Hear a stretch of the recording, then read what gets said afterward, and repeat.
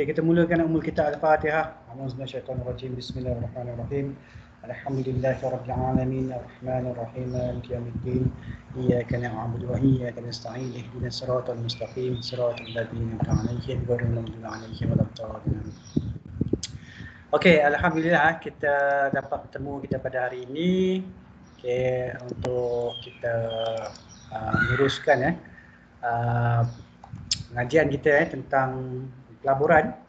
Hari ini tentang portfolio management. Okey, portfolio management. Okey, dalam portfolio management ni, okey, uh, saya dah minta you tengok tentang capital asset asset line dan juga uh, capital asset allocation tu kan dan juga efficient frontier yang saya dah share tu. Okey, video tu uh, untuk you faham eh tentang uh, teori-teori yang kita uh,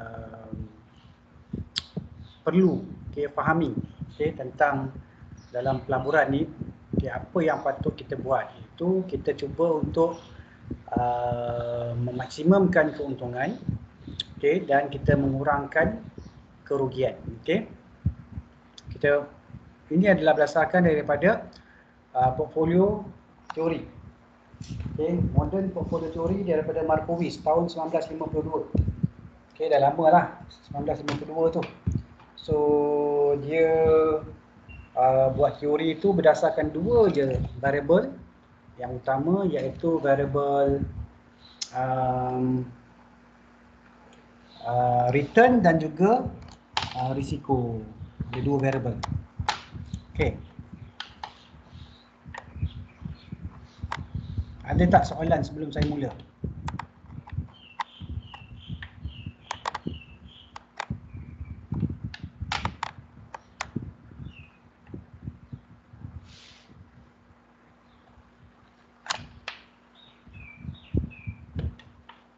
Ada ke ni?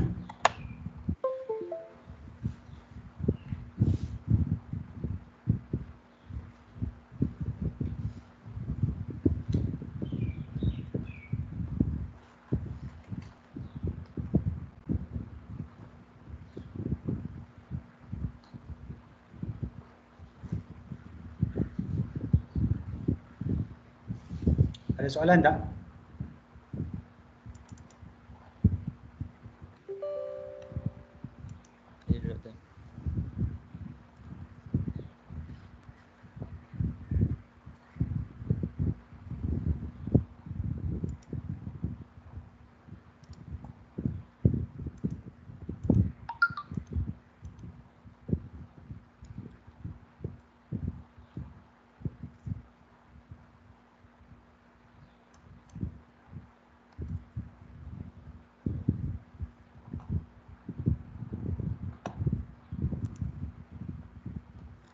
Okey, uh, teori yang saya nak you faham eh tentang uh, portfolio management ni.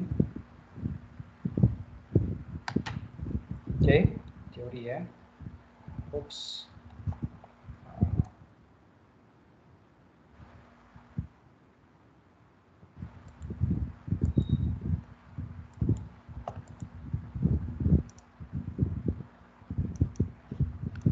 Okey, teori. Pertama ialah teori modern portfolio theory.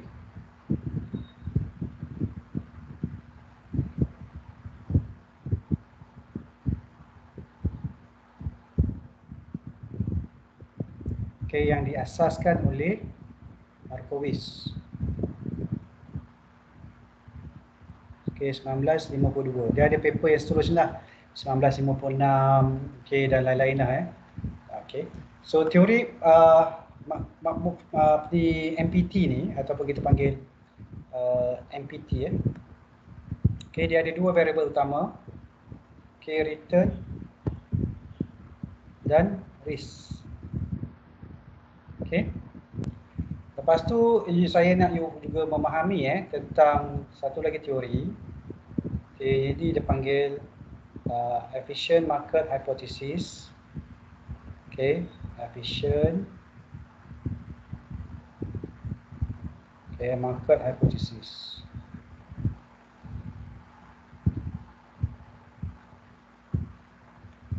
Okay. Uh, dan juga eh, kita kalau untuk you memahami juga, okay, so satu lagi teori yang perlu difahami ialah tentang uh, behavioral theory.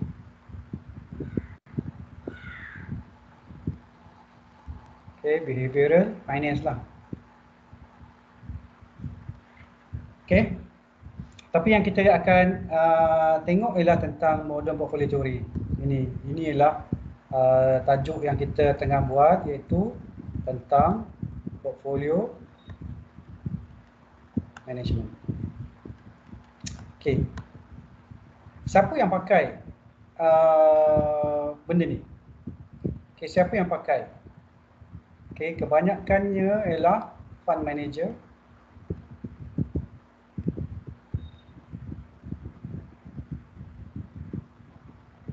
okay dan juga uh, dipanggil sophisticated investor.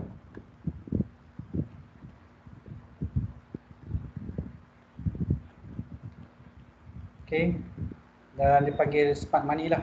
Smart money lah okay ini ialah dipanggil uh, yang menggunakan teori ni okay menggunakan teori. So ada soalan tak tentang buat masa ni? Ada faham ke tak ni? Boleh ikut tak? Boleh follow? Boleh. Boleh. Asal kecil sangat suara dia. Sekejap eh, saya nak kena besar suara ni. Cuba try. Hello, testing.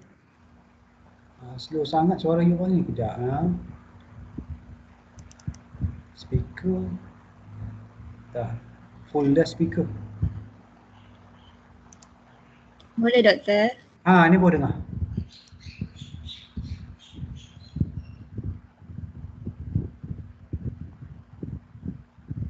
Eh hilang pula dah.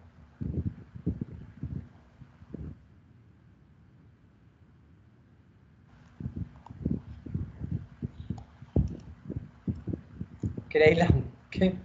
So, uh, kita tengok kepada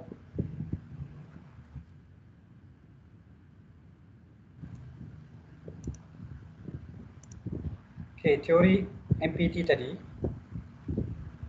okay, yang diguna pakai oleh smart investor, sophisticated investor, smart money dan sebagainya.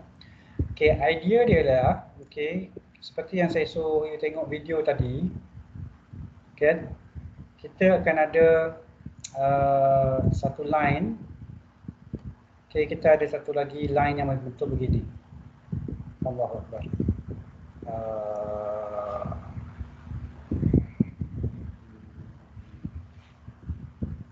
mana nak ni eraser okay. okay, satu lagi line yang berbentuk macam ni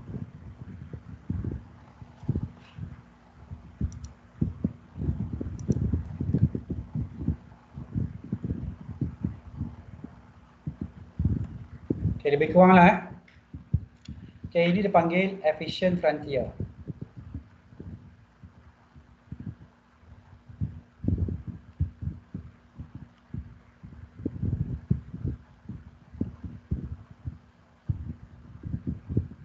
Efficient frontier. Yang ini adalah return. Yang ini adalah okay, standard deviation iaitu risiko. Okey, teori ini mengatakan pakai dua je. Seperti saya maklumkan tadi kan, dua eh, iaitu return dan juga risiko. So kita kalau boleh, kita nak return, kita nak maksimum. Okey, risikonya kita kena minimum. Okey. Ini boleh faham eh? Sebab apa? Manusia, okey, investor eh kebanyakannya risk averse.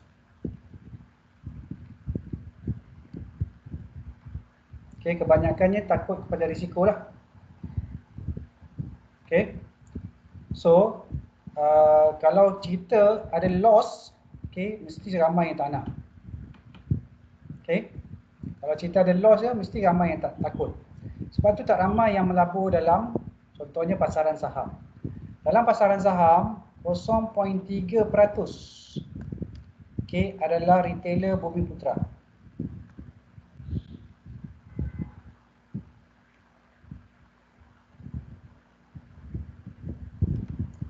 0.3 je.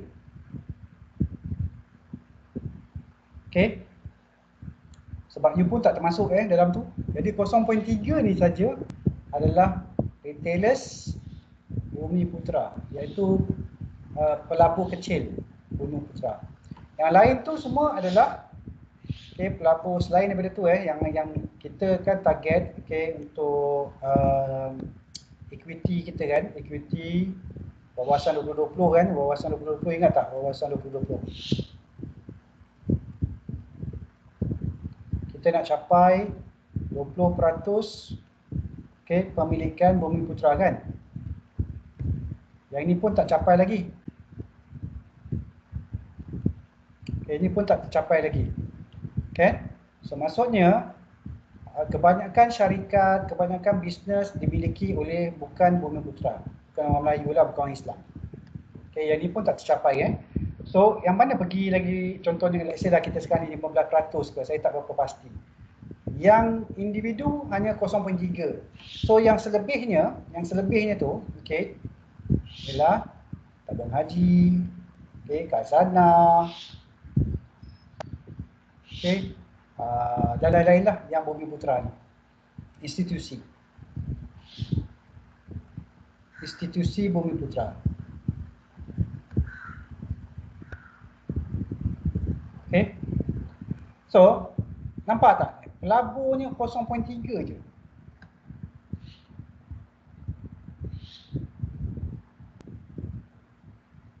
Okay, pelabur 0.3. Sebab apa? Kita takut kepada risiko. Kita takut pada risiko dan kita tak ada ilmu Ilmu tak ada. Ilmu tak ada. Sebab tu 0.3 je. Okay. So balik-balik kepada uh, MPT ni. Okay. Yang ni ada panggil uh, Okay, dia ada tiga line ya, tiga tiga tiga benda yang kita kena tahu. Dia ada capital asset uh, allocation, okay, dia ada capital, dia ada um, security market line, okay, security market line, dan juga dia ada uh, CAPM, capital asset pricing model, okay. Tapi kita tengok kepada uh, SML lah, ni SML, okay, ataupun you boleh tengok capital asset, okay, line. Okay, capital asset line tu maksudnya you invest dekat ini risk free rate, okay, risk free. Okay. So yang ni adalah kawasan you menjadi uh, pemberi pinjam. Okay, pemberi pinjam.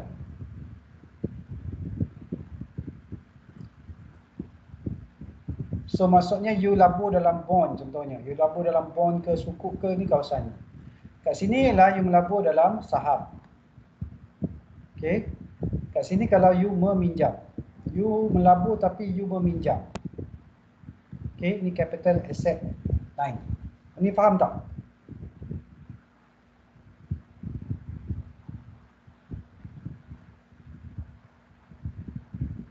Faham. Okay. So, yang tu capital asset line. Tapi securities market line ialah maksudnya yang ini. Okay, kita nak cari okay, kat mana okay, uh, saham yang kita beli contohnya mempunyai risiko yang paling rendah dan uh, return yang paling tinggi. Okay, risiko yang paling rendah tapi return yang paling tinggi. So basically kalau contohnya ni saham saham A kita sini mungkin saham B, okay, saham C, saham D, saham E, okay, right? Tapi bila kita beli contohnya kita beli semua ni, okay, dia bukan dia berada di titik yang ini, dia bukan berada pada titik ni, bukan berada di titik ni, tapi kita akan weightagekan dia. Okay, kita akan weightagekan dia.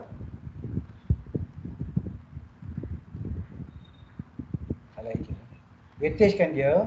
So contohnya kita beli saham A 20%, okay, kali saham A. Okay, campur dengan 30% saham B. Okey, campur dengan 0.4% saham C. Okey. Okey, campur dengan uh, 0.1 saham D. Okey, campur dengan dah berapa ni? 0.4, 7, 8, 9, 100. Oh, dah 100. Ini 0.05. Ini pun 0.05. Okey, saham E. Okey. So you akan dapat, okay, contohnya kat mana kan, okay, you dah dapat ni nanti, you kat mana return dia, kat mana dia punya uh, standard deviation. So mungkin kat sini, okay, mungkin kat sini ke, mungkin kat sini ke, mungkin kat sini ke, mungkin kat sini ke, sini ke, sini ke, sini ke, okay. Selepas kita dah weightagekan dia.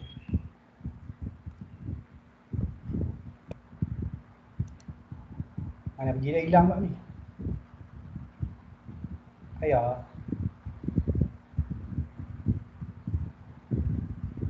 Uh, mana pula tadi ya? Bukan.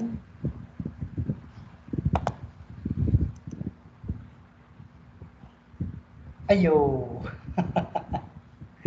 dah hilang dah. Okey. Tak apa. Ha.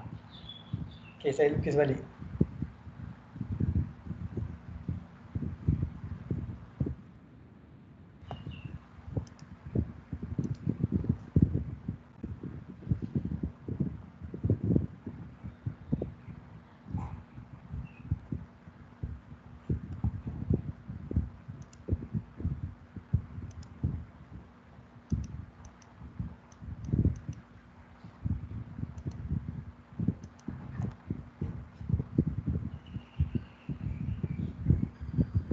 Okay, macam tu eh.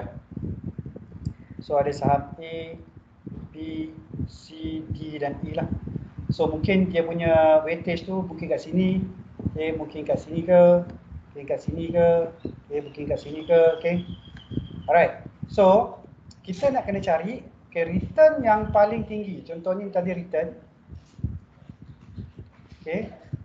Yang ni adalah stand, uh, risiko. Okay. So kita nak cari return yang paling tinggi kat mana? Tapi risiko paling rendah.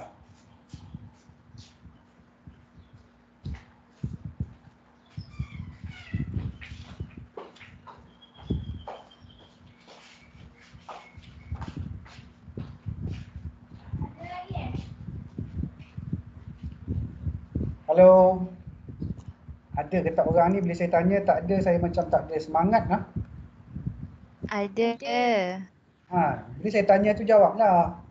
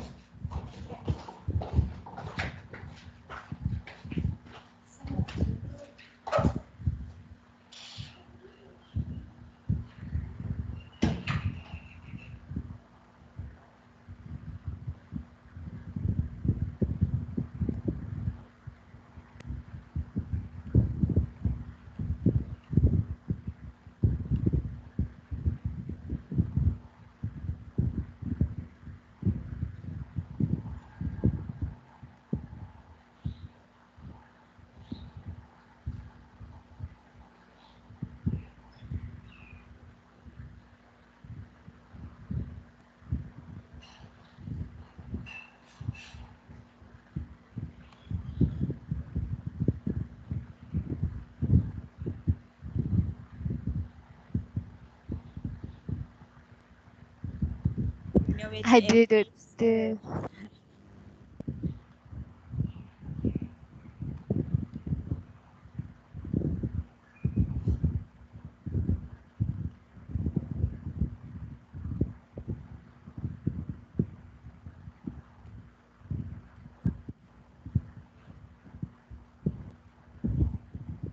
Doktor soalan doktor apa doktor?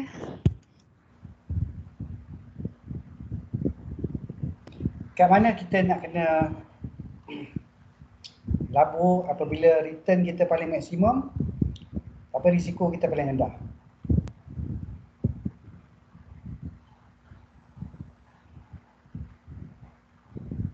berisiko apa?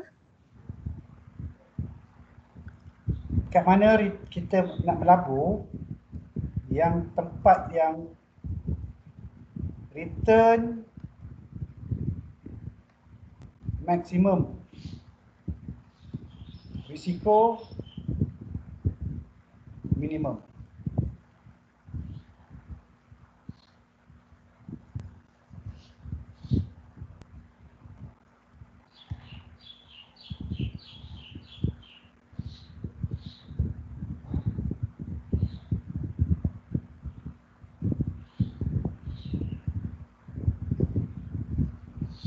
Kalau tak korang tak baca buku, tak tengok video kan. Jadi su, bila tanya tak ada jawab. So saya macam tak bersemangat lah untuk ni.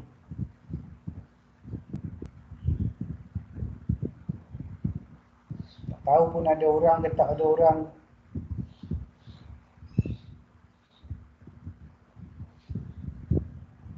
Ni kelas apa? KMA berapa ni? KMA 1.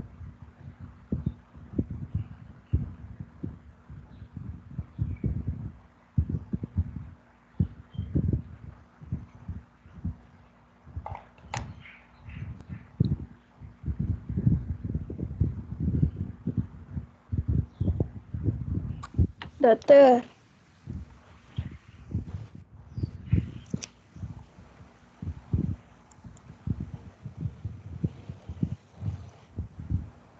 Dekat line uh, current asset line ke?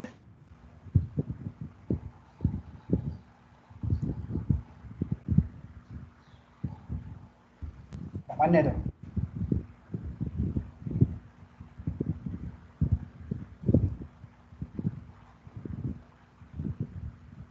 Dekat atas line. Line merah tu. Atas line ni. Mana sini? Ah, Sini. mana? Ah tu. Maximum return uh, minimum risk. Kan? Sini. Mana? Yang bawah tu. Yang Yang tengah tu. Sini. Eh. Yang yang dekat dengan A. yang kat dek- ah, Ni. tu yang tengah. Tengah mana pula ni? Ah, yang ah, tu kat anak panah tu. Ni. Sini. Ah. Ah. Ah. Ni risiko ni. Mana lagi? Risiko. Ini return dia.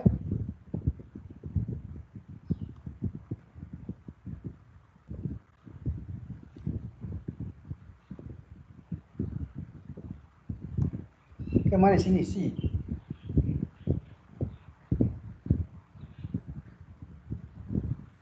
Tak, si tak. E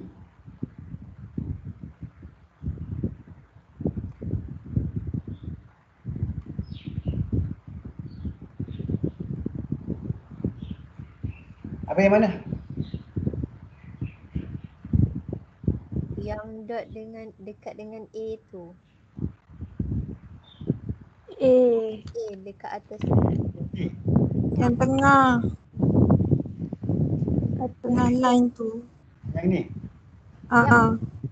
Yang tu. atas line efficient frontier. Okey. Dia sebenarnya untuk labur mana-mana dekat garisan efficient frontier ni kira maksudnya efficient lah. Sebab tu dia panggil efficient.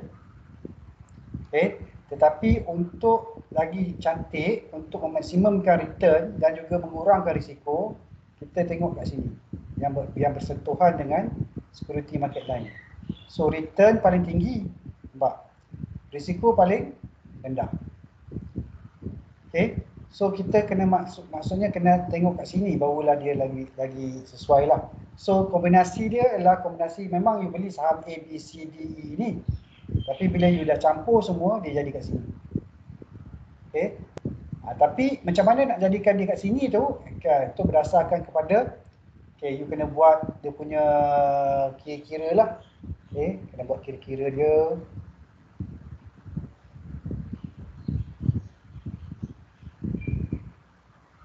Okay.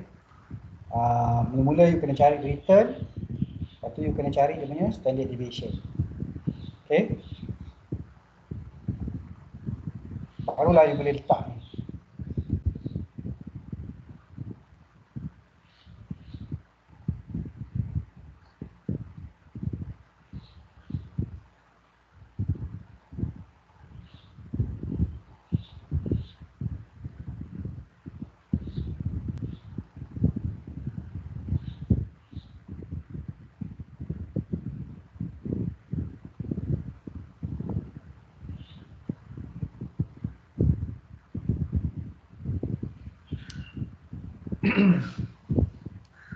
Ada.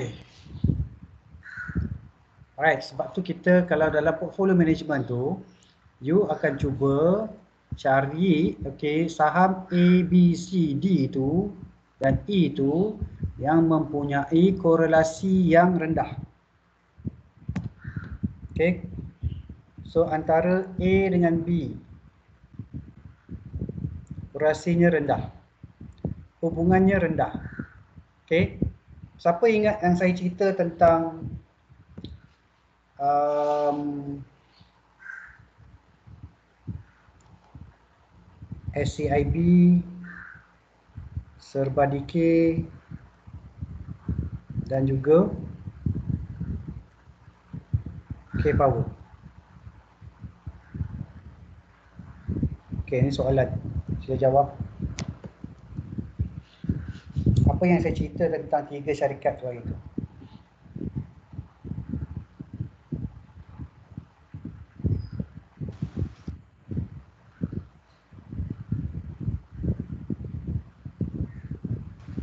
uh, dia punya correlation tinggi.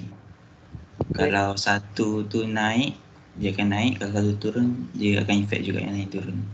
Okay, so masih ingat lagi ya tentang video yang saya yang video yang saya share tu.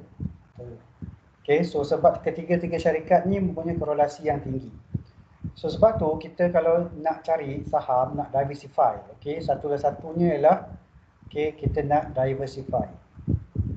Okay, dalam portfolio ni kita nak diversify. Apa maksud diversify? Pelbagaikan. Okay, kepelbagaian lah. Okay, dalam bahasa Malaysia nya. Okay, so maksudnya contoh yang paling senang A ni kalau A ni oil and gas, yang ni bukan oil and gas lah. Okay, dia mungkin teknologi. Ini company ni mungkin dalam uh, industri, industrial. Ini mungkin dalam tu. So dia tak mungkin dia tak sama sektor. Okay, sebab apa kita nak mengurangkan risiko kita. Okay, kalau company B jatuh, okay, company A masih okey lagi. Okay, kalau you semua beli ni semua dalam oil and gas, B jatuh, A jatuh, C jatuh, D jatuh, E jatuh. Betul tak?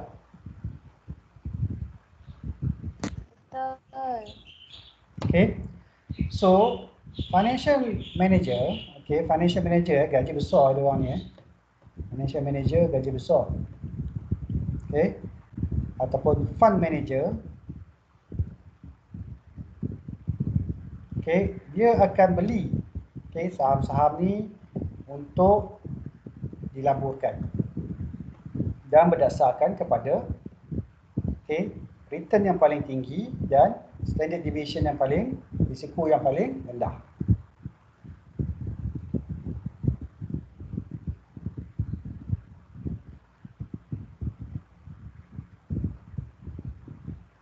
Okay. Dah besar gaji dia eh, kalau fund manager ni. Okay. Kalau analis pun dah besar, fund manager pun lagi besar. Mungkin gaji dia dalam, ah, kalau dia ni memang betul-betul yang high performingnya, memang tinggilah gaji dia. Okay. Sebab KPI dia ialah untuk bawa return. Okay, contoh dia kerja mana? Dia kerja sebagai fund manager tabung haji. Okay, dia kerja dekat uh, dia kerja dekat Khazanah. Okay, ASB ke kan. So dia ada duit banyak tu. So dia nak labur kat mana? Dia kerja dekat EPF. Okay, dia kerja dekat Kuak. Okay, sebagai fund manager. Okay, fund manager duit tu dilaburkan. Okay.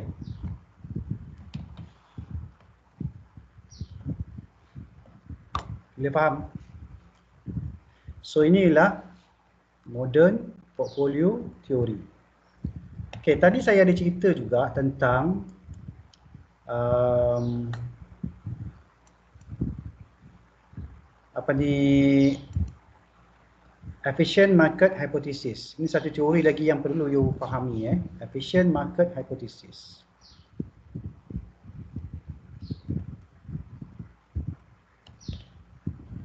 Okay, ini berkenaan dengan apa ni efficient market hypothesis ni? Maksudnya kalau kita tengok okay, pasaran saham ni dia akan random.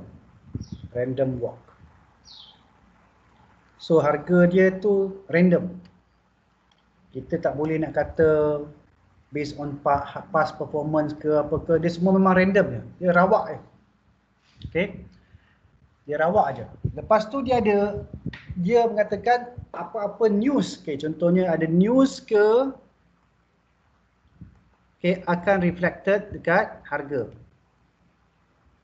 Okay, contoh news dia dapat projek, dapat kontrak ke apa, harga akan di uh, price in the news tu. Okay. Contohnya sebelum news harga 10 sen, lepas news jadi 15 sen.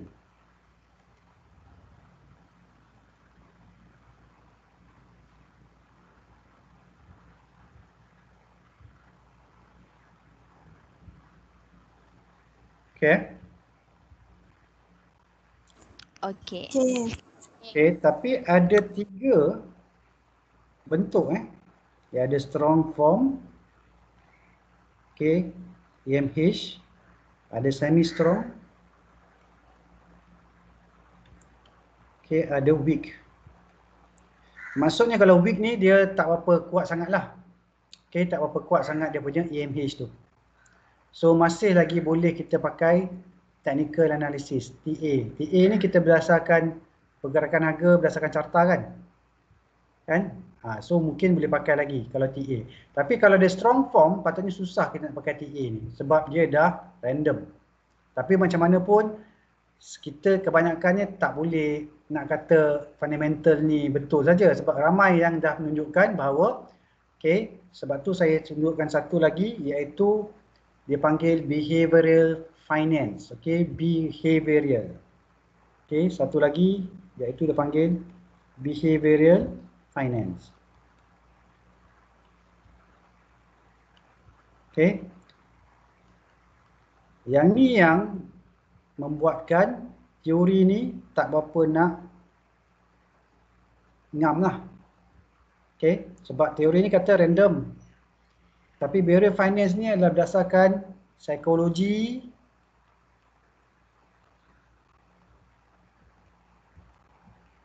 Okay, berdasarkan sosio okay, uh, ekonomi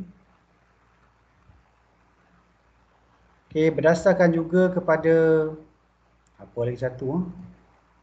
psikologi psiko psikologi salah eja ni psikologi okay, sosioekonomi dan juga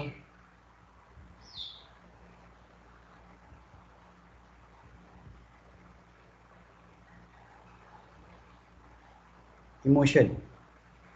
Okey dah, saya letak je lah emotion. Okey. Sebab apa? Kadang-kadang okay, you tengoklah ada orang panic buy lah, panic sell lah, macam-macam kan behavioral. Okey, ada yang ikut orang. Okey, orang cakap beli dia berbeli ada yang heuristik dia berdasarkan oh tahun lepas company ni untung dia pun beli sebab tahun lepas company ni untung heuristik ataupun representation Okay, ada kata pula dia tu macam-macam lah. Dia ada macam-macam teori eh tentang behavioral finance ni. Okay, so dia kontradik dengan EMH. Okay, tapi apa-apa pun kita nak cuba reducekan risiko dan maksimumkan return.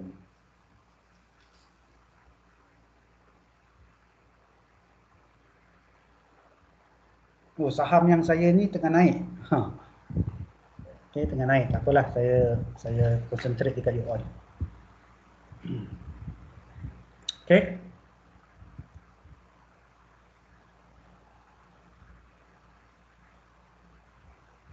Okay, faham ke ni teorinya?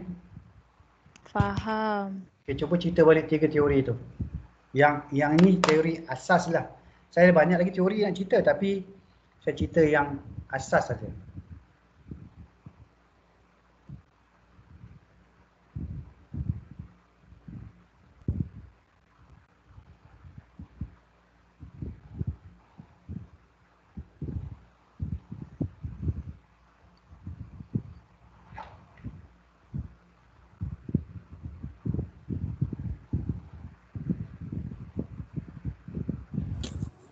Doktor, Ya. uh, yang portfolio teori tu yang video yang doktor check dekat macro exist tu eh? Microaxis. Ha ah. Yang doktor cakap pasal uh, correlation dia positif ke negatif ke yang tu. Okey, itu untuk correlation. Ha, itu Oh. untuk correlation. Microaxis tu uh, satu portal lah ya, satu portal Israel punya eh. Israel eh. Dah orang Melayu kita tak buat macam mana? Betul doktor. Bila tanya soalan senyap kan. So macam mana kita punya ni? Okay. Uh, so saya ni memang berharap-harap sangat you all memahami ilmu ni dan juga uh, mendalami tentang ilmu-ilmu pelaburan lah. Tak kira lah saham ke apa ke kan. Property ke. Sebab kita memang kita ni orang Melayu, orang Islam ni dekat Malaysia ni dia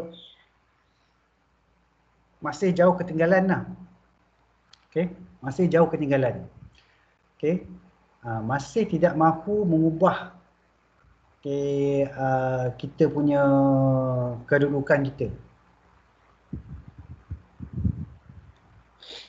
Faham tak apa maksud saya tu? Faham doktor. Ha, kita ni, kita ni macam sebab terlampau complacent, maksudnya terlampau selesa. Ha, ada cukup-cukup ni cukup lah. Alah kan macam tu lah kan. Ha, so kita terlampau complacent. Bukannya kita nak kejarkan sangat, tak ada. Kita tak kejarkan sangat tapi kita nak menguatkan ekonomi kita.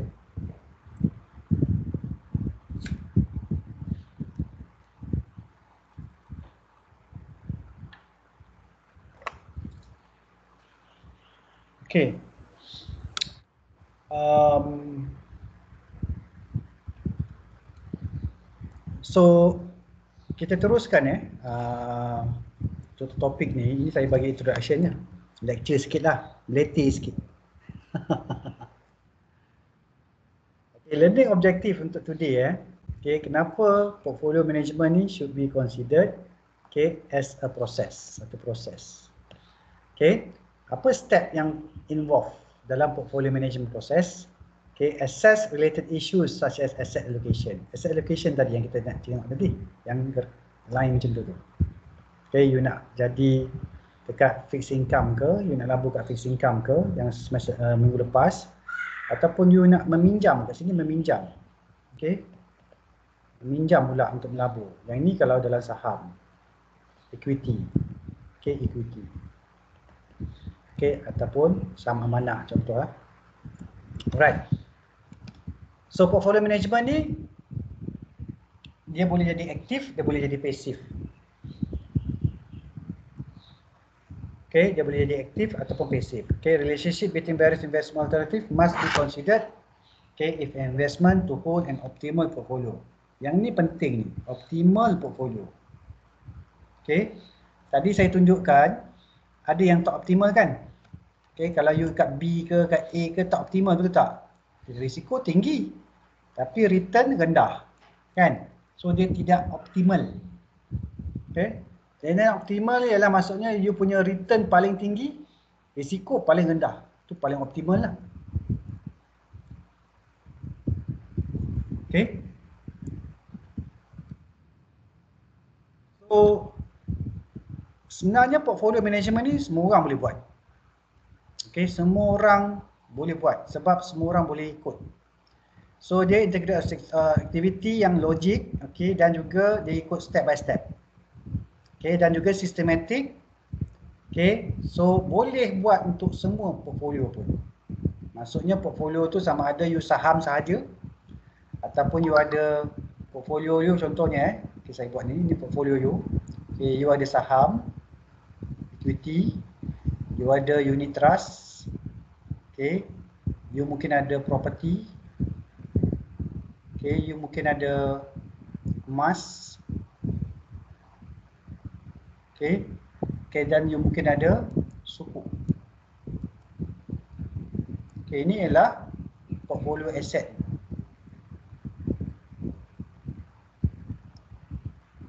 Okay, faham tak?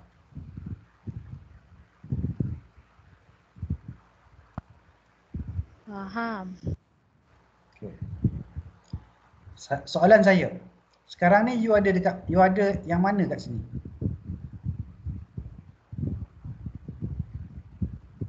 You dah ada yang mana? Oh, saya, saya lupa. Uh, gold. Oh, sini bank aku. Ini ada Gold. cash. Ada gold je. Ada gold. So you dah ada yang ni. So maksudnya portfolio sekarang ni gold je. Okay, ni diversify ke tidak? Belum. Tak lagi. Okay, ini tak namanya tak diversify. Betul tak? Kalau contohnya hilang gold tu, apa, apa jadi kat investment you?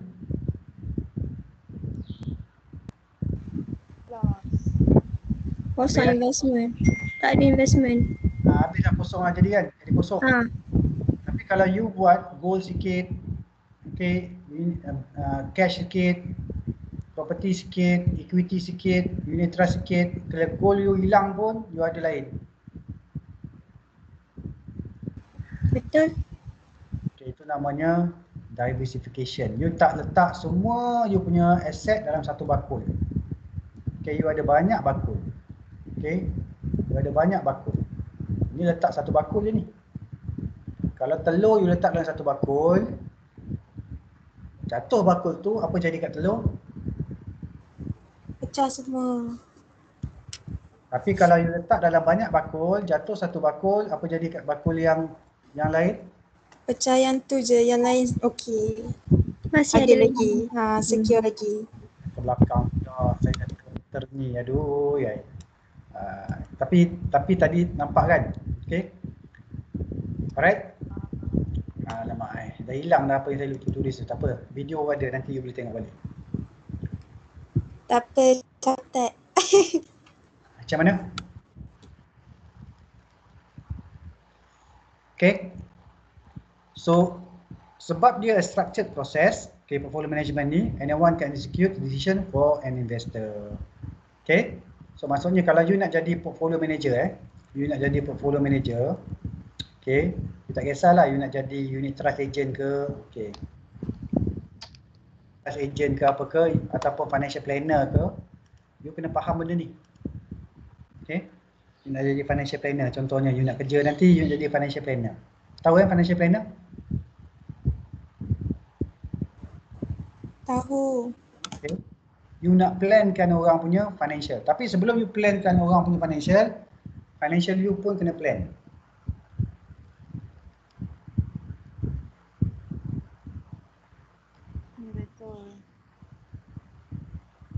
Okay, financial you pun kena plan. You start kan apa saving lah. Ha, bila you start yang savings, okay, baru you ada capital. Okay, you nak melabur kat mana?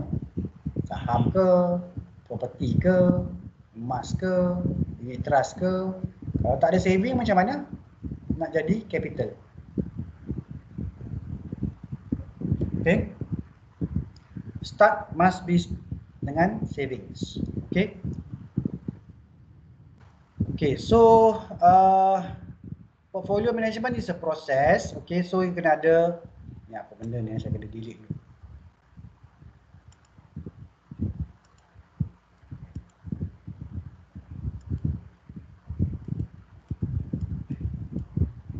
Oh, yang lama punya dia tak boleh delete. eh.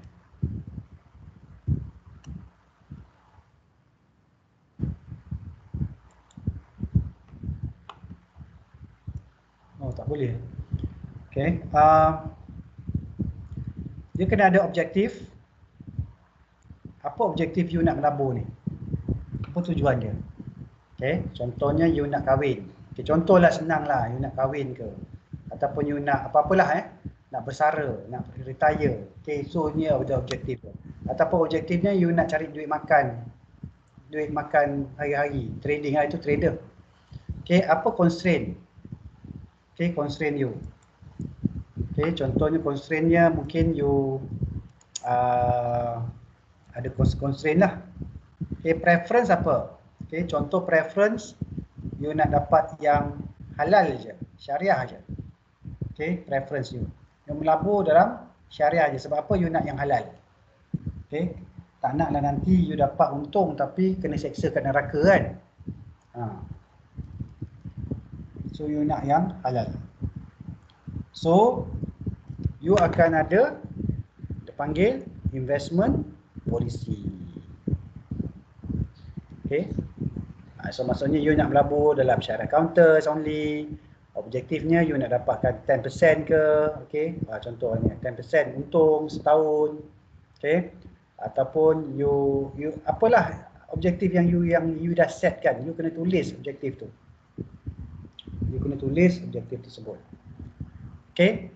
Dan macam mana strategi ha, okay, you nak buat. Contoh strateginya beli counter uptrend saja. Contoh-contoh.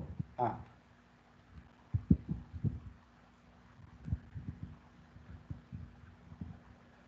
Okay, strategi dia. Counter downtrend, tentu sideway you tak nak beli. Okay. Then you kena tengok market condition. Okay, sekarang ni market tengah flip flop. Naik turun naik turun macam tu kan. Okay, mungkin market sekarang ni tengah sideway. So you nak masuk ke tak? Okay. Kalau you rasa you kata you sideway you tak masuk, you tak masuk lah. Tapi kalau you kata market sideways dan juga market uptrend, you masuk, so you boleh masuk. Okay, asset mix, you nak beli apa? Okay, you nak beli saham saja ke, unit trust, suku dan sebagainya. Okay, investors circumstances also monitored. Okay, contohnya kalau dia nak guna duit tu bila? Kan? Contoh you, you punya, you ada, you jadi financial planner ke apa ke ataupun uh, fund manager dia you punya investor cakap okay saya nak pakai dalam lima tahun lagi saya nak pakai uh, circumstances kena monitor lah and then portfolio adjustment kena buat okay contohnya kadang-kadang kita beli saham tu atau ataupun investment apa-apa investment pun kadang-kadang dia turun dia tak dia tak semestinya confirm untung ada masa tu saham yang you beli tu memang jatuh. Macam contoh sebab Nikkei tu. Okay?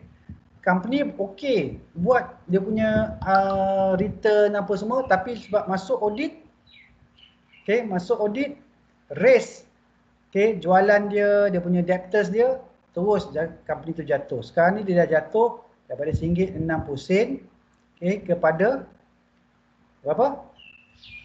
60 2 sen okey sebanyak berapa ringgit jatuh RM seringgit jatuh. Okay, dan you tengok, okay, Huap jual.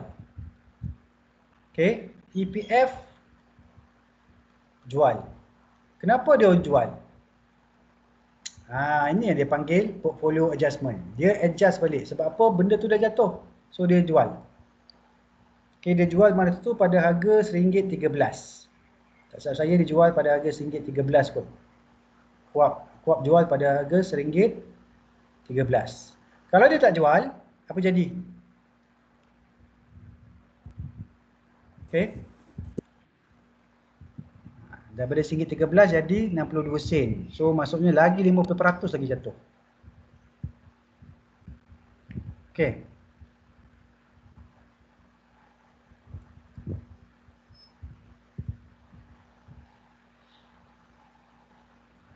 Okay, sebab tu dia panggil portfolio adjustment. Dia panggil portfolio balancing lah, rebalancing lah. Dia panggil rebalancing juga. Okay, rebalancing. Okay, saya tunjuk uh, contoh je eh. Um, uh, saham kot, kat saham ada.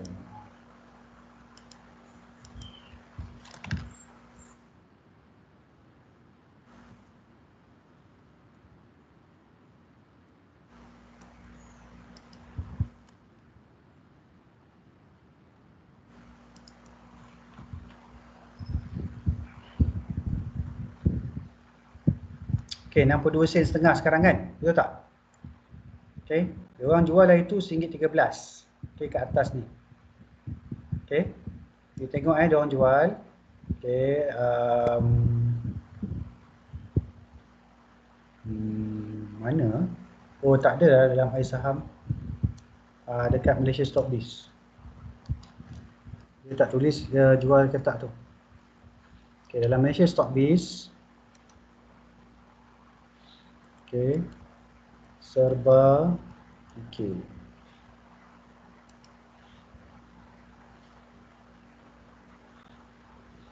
Okay, yang yang beli pun ada nampak. Yang ni beli. Yang beli. Okay, ni nampak. Siapa ni? EPF. EPF jual. Okay, Datuk Kadir ni sebab dia tu adalah directors, dia shareholder. Ni siapa ni? EPF. Ni? EPF, EPF. KWSP. Hai. Kuap. Ha, nampak? So, dia orang dah jual. Ini dia panggil portfolio adjustment. Sebab dia orang ni siapa? Siapa yang jual ni? Yang ni. Siapa yang jual ni? Fund manager, pengurus kewangan tu lah. Pengurus wang tu. Okay. So, apa yang you belajar sekarang ni ialah macam mana you nak mengurus tu. You you jadi, contohnya you jadi fund manager. Okay, you jadi fund manager EPF. Mana pula dia ni tadi? Hilang. Ha ni. You jadi fund manager EPF. You tengok harga jatuh sebab tu you kena buat portfolio adjustment. Okay ya? Okay, so sebab tu kita ada dua. Okay, individual investor okay, dan juga institutional investor. Okay, siapakah dia institutional investor ni?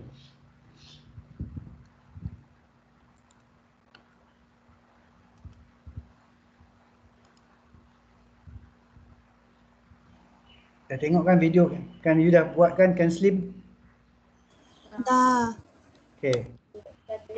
Itu takkan tak boleh jawab. Can Slim dah ada ni. I ni apa? I ni apa?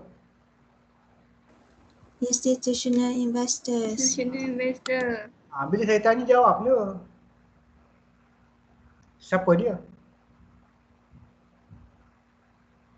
Mutual fund. Pemegang saham shareholder. Siapa siapa? Institutional investor. Baru je saya tunjuk. Retailer, shop.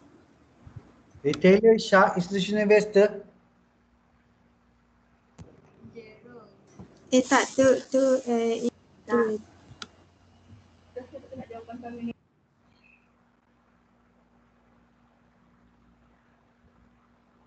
Siapa institutional investor? Bagi contoh. KWSP. Ha? KWSP. Ha, contoh tadilah KWSP, Kuap tu semua institutional investor. Okay. Tu adalah institutional investor. Individual ni retailers. Bumi Putra berapa?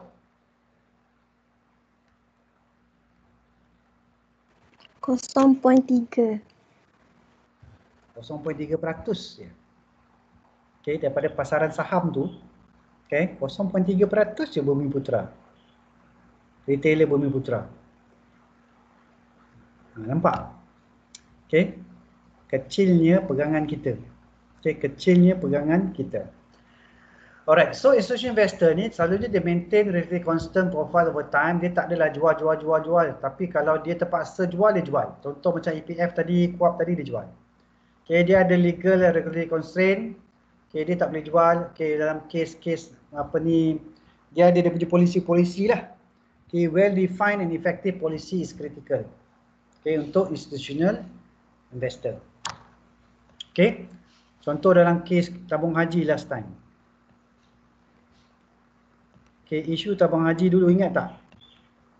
Masa kerajaan Pakatan ambil ambil eh, Pakatan Harapan ambil alih kan? Okay, dia telah mengatakan bahawa tabung haji ni uh, ada masalah. Okay, dia bagi dividen, maksudnya tabung haji bagi dividen. Okay, tapi sebenarnya tak untung. Ha, contohnya macam itulah. Okay. Okay. Ha, so apa dia buat? Dia jual semua aset-aset tersebut. Okay, sebab apa? Contoh dulu, tabung haji dia pegang banyak syarikat. Okay, syarikat tu dekat dalam bursa Malaysia, okay, harga dia dah jatuh. Okay, contoh dia beli RM1. Okay, tapi harganya sekarang ni 20 sen. Okay. So sepatutnya okay, tabung haji dah kalau ikutkan eh, dia kena jual lah sebelum jatuh 20 sen. Tapi dia pegang juga sebab apa? Ada isu-isu lah, sesuatu isu lah contohnya mungkin dia tak boleh jual sebab kalau dia jual harga akan jatuh lagi. Okay, contoh macam serba dikir tu kan. Okay, serba dikir tu. Sebab kuat jual, harga jatuh. EPF jual, harga jatuh. Kenapa harga jatuh?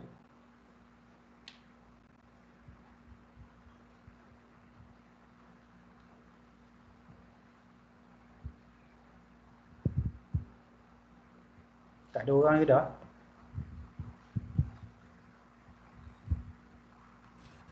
Sebab ramai menjual. Dia tak ramai, dia satu je. EPF satu je. Wap satu je. Sebab dia pemegang saham terbesar.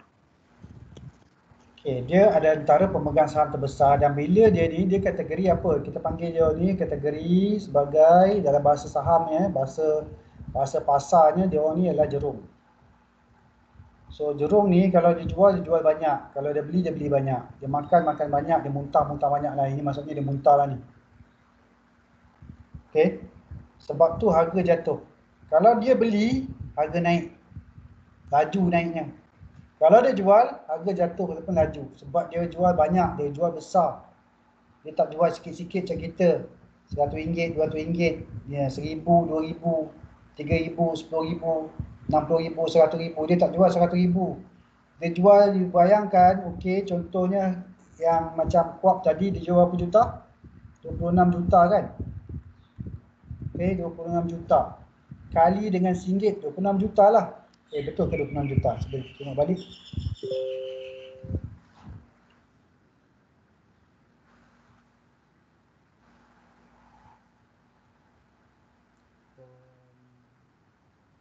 Hmm.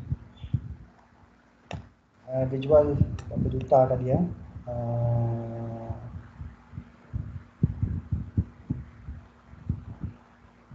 bukan ni.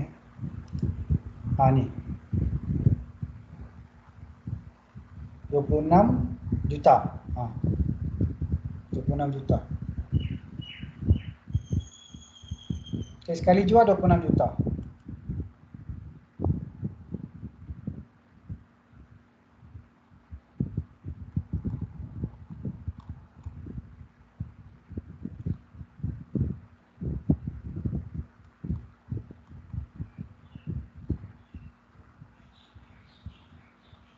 Sekejap eh, kita tengok.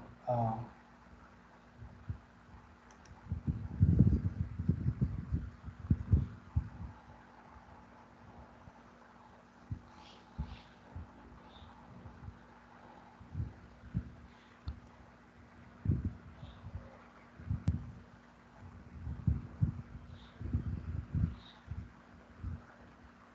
Okay, 2 Jun ni. Kuat.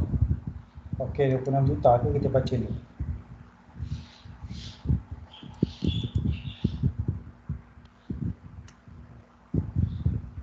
enam juta. Okey, 26 juta pada harga berapa dia tulis ni? Nampak ada tulis apa? Disposal of shares in open market by Kate Wap Fund Managers. Okey. So 2 Jun hari tu harga RM1.3 tu lah, RM1.13 tu. So dua kali lah dengan RM1.13, 26 juta. So berapa? 26 juta lah. Eh. Okay, dekat-dekat dengan 30 juta lah. Okay, 30 juta sekali jual. Memang harga akan jatuh. Okay, memang harga akan jatuh.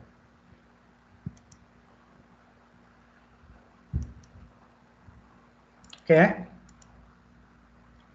Kalau individu, ah, individu ni lain. Okay, life stage matter. Okay, life stage tu maksudnya you tu masa tu dekat mana? Bujang ke, dah kahwin ke, nak pencin ke? Okay. So risk is defined as losing money. Itu risiko you. Risiko apa? Hilang duit. Characterized by personality. Goals important. Okay, tax management is important part of the decision. Okay, characterized by personalities ni. Okay, yang saya cerita tentang merempit tu kan. Okay, ada yang boleh merempit, ada yang takut dan sebagainya lah. Okay, ada contohnya sanggup melabur dekat bank je. Tapi tu sebenarnya bukan melabur eh. Itu sebenarnya menyimpan. Okay, kat bank je. Dan okey untuk dapat 1.5% contohnya setahun. Okay. Tapi ada yang nak melabur dekat pasaran saham. Okay. Dia boleh dapat 5% sehari. Okay, tapi dia boleh lose juga 5% loss sehari juga. okay, contoh eh. Contoh. Alright, personality tu memainkan peranan ya. So institutional investor tu uh, kita tak payah cerita, okay dia dah faham, okay. Okay ni life cycle approach ni. Hmm, tak nampak pula dah.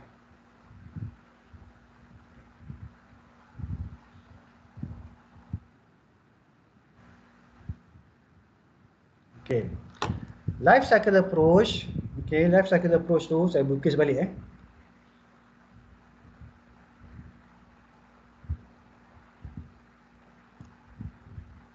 Okay, inilah return.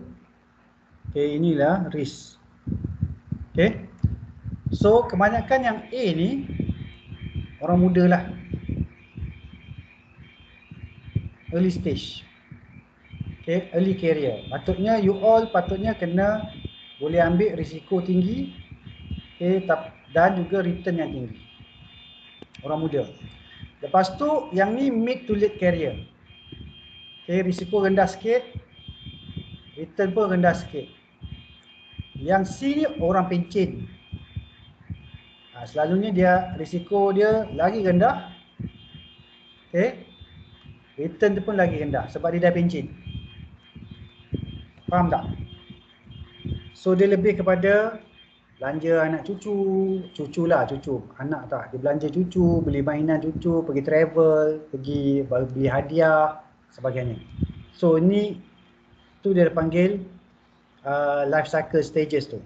Okay, yang mana yang muda dia akan melabur pada instrumen yang mempunyai risiko yang tinggi dan return yang tinggi. Sebab apa? Dia nak cepat. Okay, dia nak dapatkan pulangan dia cepat. Okay, dan dia boleh cepat kaya lah. Okay, tapi kalau you dah pencet, ha, you boleh masuk dalam sukuk je kot. Okay, ataupun you boleh simpan dalam tabung haji je.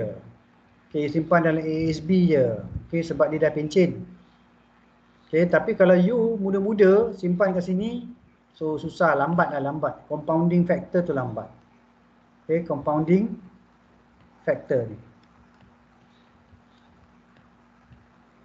Okay, so you nak doublekan duit you pun lambat lah. Okay. So tapi dia bergantung kepada risk tolerance jugalah. Setiap orang lain-lain. Okay, ada yang rambut sama hitam tapi risk tolerance yang berbeza-beza lah. Okay eh? Alright, so saya tak nak cerita yang ni. Okay, saya tak nak cerita yang ni. Uh, ni ialah tentang tadilah. Okay. Saya tak cerita yang tu. So saya nak cerita tentang um, apa ni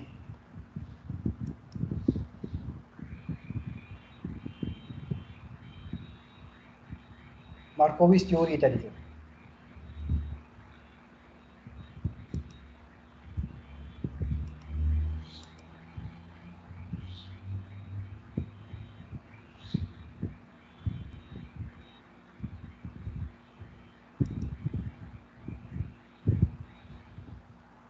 Okay, ni market efficiency, MH dengan portfolio. Saya dah cerita dah.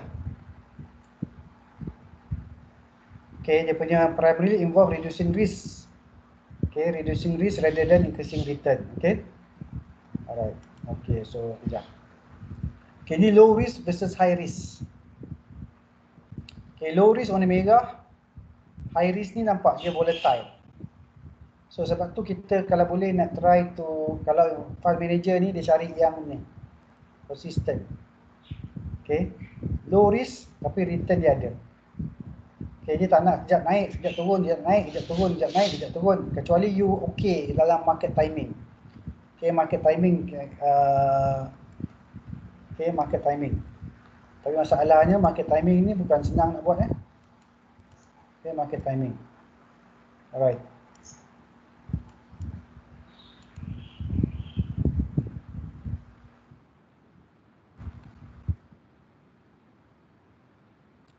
Okay. Ini step-step dia. Ada enam step dalam portfolio management. Pertama, kena belajar principle of finance. Kena belajar principle of finance. Sebab tu you belajar sekarang ni.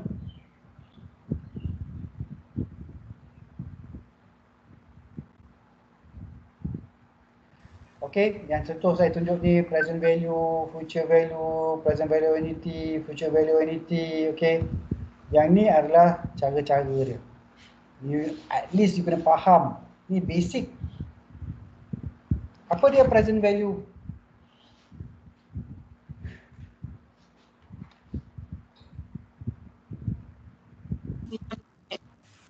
Ya? Harga sekarang. Ya? Harga market semasa. Harga semasa. Harga market semasa?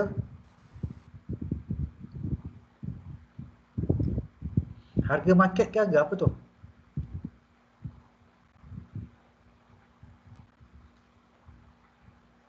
Apa future value?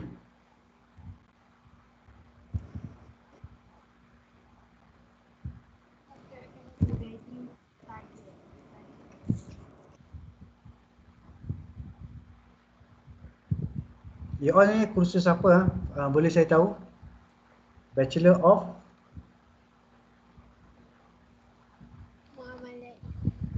Ah, Bachelor of Muamalat yang ni kena tahulah. Future value harga masa akan datang. Harga. Adakah kita tengok Dia nilai Nilai, nilai nilai. asset. Nilai asset uh, berdasarkan nilai current asset, nilai current asset ke apa? Nilai current asset, betul ke? ah Nilai current asset. aha Current asset. Current asset tu dalam accounting aset semasa ke? Nilai aset. Nilai aset. Okay, nilai aset lah maksudnya. Okay, ap- kalau saya pegang tunai, cash, adakah itu dipanggil aset? Tu current asset. current asset. Yelah, adakah itu aset? Saya tanya, bukan saya Ya. tanya. Aset, okay dia aset. So boleh tak tunai ni ada future value? Boleh? Boleh eh? Boleh ke? Boleh kan? Boleh. Boleh. Boleh doktor. Ada. Tunai tu selalunya kita tengok tunai lah. Tunai ni. Okey, berdasarkan tunai. Okey, contohnya sekarang ni you ada 100. 100 sekarang ni sama tak dengan 100 10 tahun akan datang? Tak Tak sama. Tak sama kan? Akan bertambah. Tak sama eh? Sebab apa tak sama? currency dia. Currency dia kenapa? Currency sama. Ringgit. Nil, uh, uh, nilai dia tu Nilai akan bertambah. Nilai dia tak macam mana? mengikut perubahan semasa. Tak kenapa? Saya tengok nilai sama. Ni 100. Ni pun 100.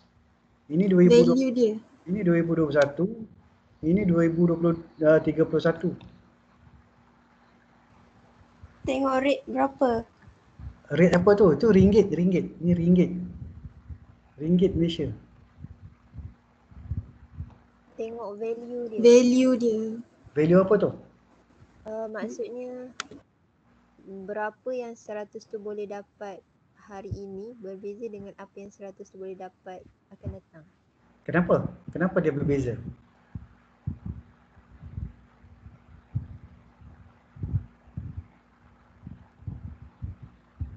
Ini saya tanyanya basic yang ini basic.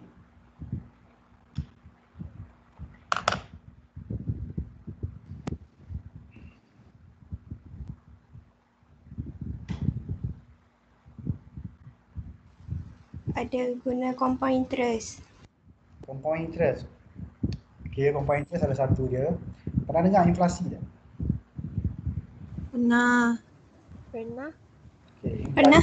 Apa maksud inflasi?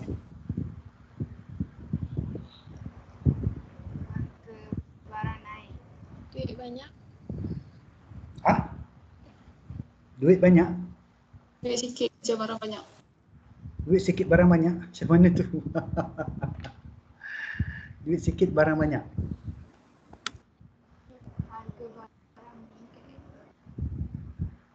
Uh, Kenaikan dalam tingkat harga barangan umum. Demand tinggi. So, ah,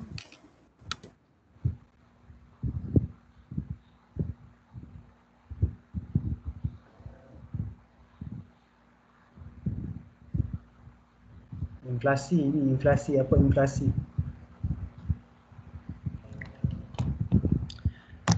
You kalau dalam finance tu memang kena faham inflasi, kena faham interest rate, kena faham tu. Itu semua adalah teori-teori yang diguna pakai dalam finance. Sebab tu basic principle of finance kena faham. Tingkat harga umum. Ikut ekonomi semasa.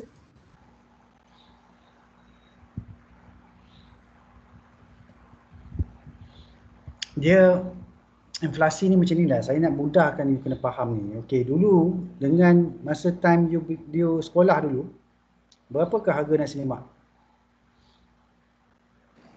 50 sen. 50 sen.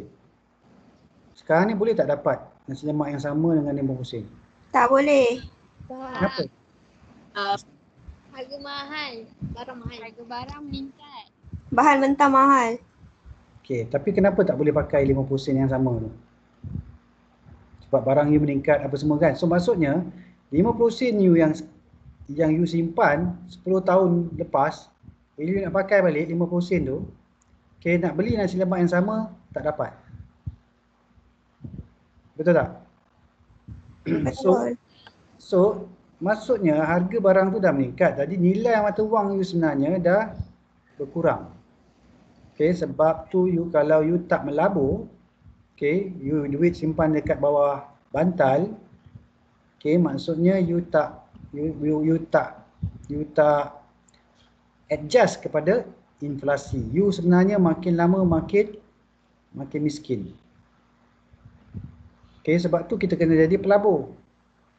So kita kena dapat pelaburan contohnya 10% return. Okay, tolak dengan inflasi 2%, contoh eh.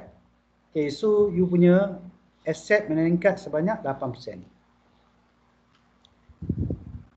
So maksudnya bila you you punya you punya duit yang RM100 tahun hari ni, okay, mungkin dah jadi dah jadi kat sini dah jadi uh, 1000, okay, dia mesti boleh berbeli lagi apa yang dulu. Dululah, sekarang sebetulnya sekarang you beli dengan 1000 tersebut. Contoh, contoh. Okay. Ha. So maksudnya you boleh beli nasi lemak balik lah. Ha. Tapi mungkin pada waktu tersebut 50 sen tu bukan 50 sen. You ada RM2.5 untuk beli nasi lemak. Okay, RM2.5 tu cukup untuk membeli nasi lemak. Sebab tu kena jadi investor. Okay, kena jadi investor. Tak kisah eh, dalam investor dalam saham ke, dalam unit trust ke, dalam apa ke. Sebab apa, you ada inflasi yang you kena kena tangani. Kalau you simpan dalam bank je, boleh tak cover inflasi 2%?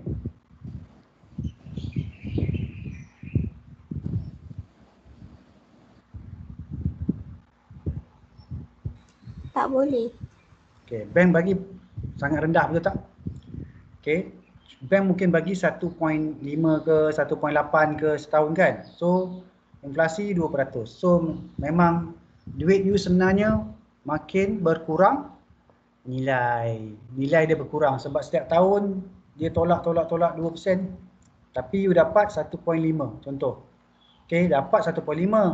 Okay, tolak 2%. Okay, you simpanlah RM100 tu.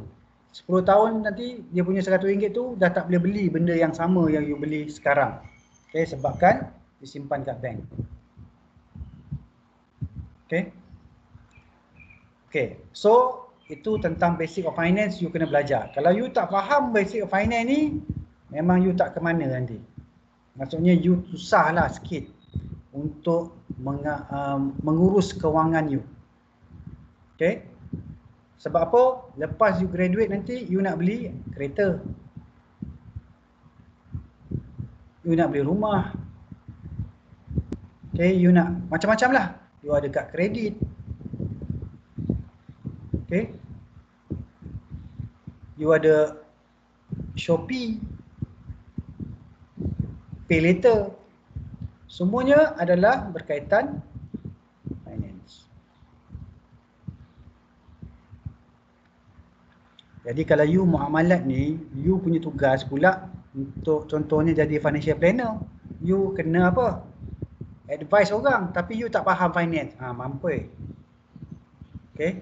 Bukan mampu itulah maksudnya. maksudnya maksudnya teruk lah. Kan? Okay. Faham eh? Okay.